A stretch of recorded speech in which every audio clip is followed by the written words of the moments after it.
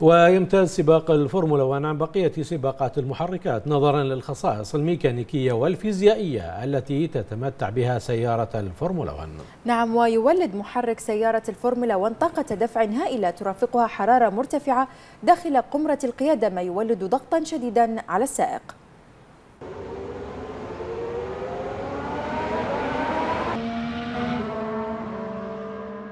عندما نتحدث عن سباقات الفورمولا 1 فللوهلة الأولى تأخذنا أذهاننا إلى مشاهد السباق وما نعيشه من لحظات ممتعة ومشوقة خاصة لمحبي هذه الرياضة.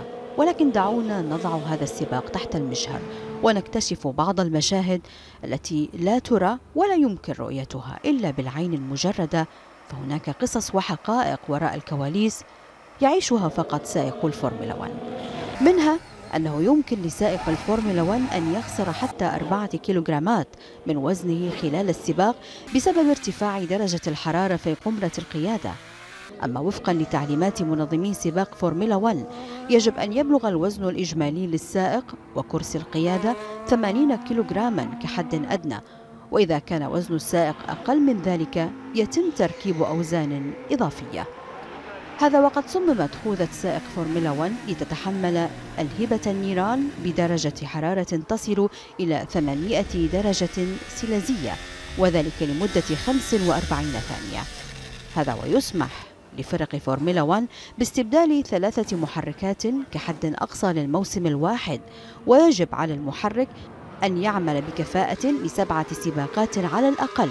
هذا ويمكن أن تنتج إطارات سيارات فورمولا 1 فتاتا من المطاط أثناء السباق حيث يتراكم هذا الفتات على جوانب مضمار السباق مع مرور الوقت وقد يشكل عائقا أثناء القيادة بحيث يجعل عملية التجاوز صعبة جدا.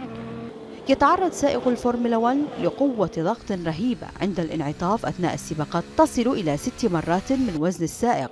ويعد هذا الضغط أقوى بمرتين من قوة الضغط التي يتعرض لها رائد الفضاء عند انطلاق المكوك من الأرض. ويجب على سائق فورمولا 1 اختبار كفاءة المرايا الجانبية الإلزامية. في سيارات السباق الخاصة بهم من خلال اختبار النظر الذي يتم عن طريق قراءة الأحرف المقطعة والموضوعة على مسافات مختلفة خلف قمرة القيادة.